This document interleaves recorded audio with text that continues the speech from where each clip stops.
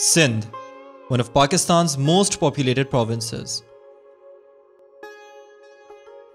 Home to 47.8 million people, including 22.9 million women. On average, each of these women has four children over her lifetime. This number is even higher for women living in Sindh's rural areas. Sindh's high population is placing an immense burden on its economic resources. If the population grows at the same rate, it can negatively affect Sindh's development.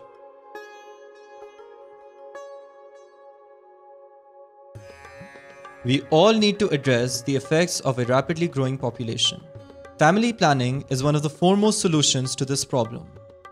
We need to raise awareness about family planning to help Sindh prosper. Did you know that the percentage of people in Sindh who use family planning has remained constant for over a decade, with a contraceptive prevalence rate at just 29.5%. As a whole, Pakistan's contraceptive prevalence rates are one of the lowest amongst other Muslim countries in the region.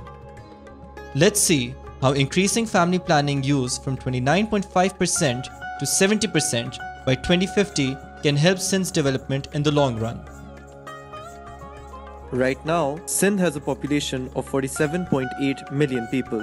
If contraceptive prevalence remains at 29.5%, the population will almost double to over 98.5 million by 2050.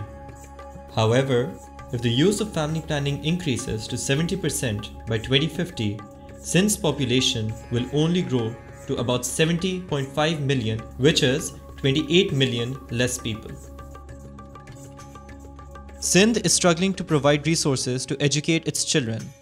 If family planning use increases, population growth will slow, decreasing the strain on the province's education resources. As the number of children will be less, the number of teachers and schools needed will also decrease. If family planning use remains at 29.5%, there will be 7.4 million more children in need of education, requiring more teachers and more schools compared to a scenario where family planning use increases to 70% by 2050. If family planning use remains the same, Sindh will have to increase its health expenditures and invest in training more doctors and nurses, compared to a scenario with increased use of family planning. Similarly, the labor force will increase drastically if the use of family planning remains the same, and the number of new jobs required to employ the population will almost double. However, the economy will not be able to keep up with this high population and GDP per capita will be relatively less. By contrast, if we increase family planning use, we will only need close to 10,000 additional jobs and GDP per capita will increase considerably. Rapid population growth will also affect the demand for water. If population grows at the same rate, we will need much more water and could run out of this precious resource.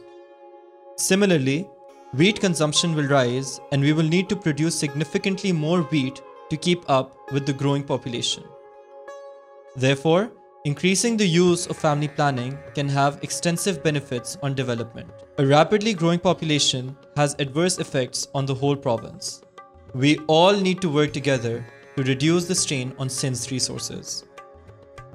Investment in family planning should be top priority and this investment needs to start now. Sindh has committed to increasing the contraceptive prevalence rate to 45% by 2020. In 2015, the Sindh Population Welfare Department developed a five year costed implementation plan to achieve this goal. Reaching this goal will entail expanding access to family planning information, services, and methods. What happens if we all work together to achieve this goal. Increasing contraceptive prevalence to 45% by 2020 will mean prevention of over 4 million unintended pregnancies, over 11,000 maternal deaths, and over 27,000 child deaths.